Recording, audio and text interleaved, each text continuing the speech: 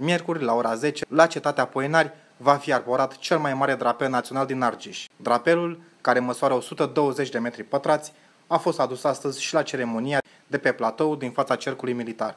Cetatea Poenari este singura cetate construită în timpul domniei lui Vlad Țepeș și va beneficia de un amplu program de reabilitare și consolidare pe fonduri europene.